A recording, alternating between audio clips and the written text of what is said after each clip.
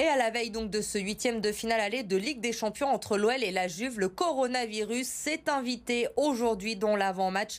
Le ministère de la Santé a pris sa décision. Les supporters italiens auront bien le droit de venir demain au Groupama Stadium. Mais à mes yeux et à Dessine, les élus ne sont pas franchement d'accord. Laurence Fautra et Christophe Quignon ont interpellé les autorités pour faire interdire le déplacement des supporters. Les habitants seraient inquiets de voir près de 3 3000 Italiens venir alors que l'épidémie se répand au nord de l'Italie. Écoutez la maire de Dessine, elle est au micro de Gwenaëlle Vandrestin. Seul le ministre de, la Santé est compétent pour dire euh, si oui ou non l'autorise, en lien avec l'ARS, a autorisé euh, le fait de ce déplacement.